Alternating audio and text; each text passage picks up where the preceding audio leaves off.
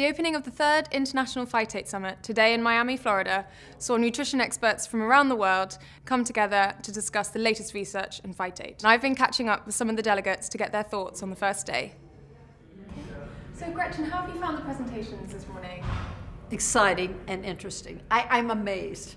I, I do a lot of teaching, and I think about the number of things that I will be needing to take from this to bring students up to date. The effect um, of the phytase supplementation was less when the diet contained additional calcium. It was truly new to me that the lower inositol phosphates are also important for digestion. Phytate destruction response in terms of the superdosing, we do see it very, very regularly. We feed very high levels of phytase. You get very consistent four to five points in broilers uh, improvement in, in weight-corrected FCR.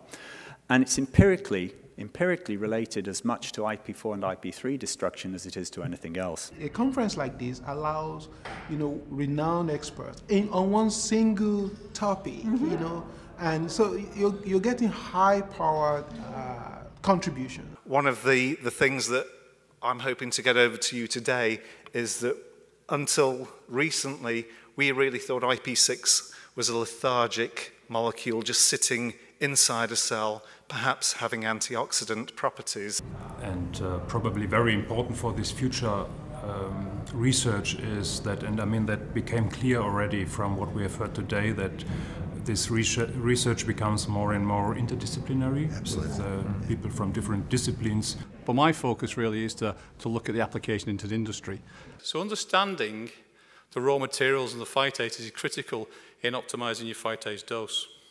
The most embarrassing was again that the situation in vivo mm -hmm. is extremely complex mm -hmm. to see all these factors influencing phytate degradation. Myoinositol is a potent mo metabolic modulator by mediating membrane functions, PIP3, PIP2, and intracellular signaling cas cascades, IP3, in mammals and also in birds. Therefore, there's a focus on identifying gaps in our knowledge and saying this is logical next steps, but we really need to focus in the future. And there's so many exciting things going on with all the interactions between phytate, phytase, calcium, phosphorus that we are not aware of yet. And then you add the microbiome into that and immune system and other things. So it really gets complex. And I think this meeting will highlight some, some of the next steps that need to be taken in that regard.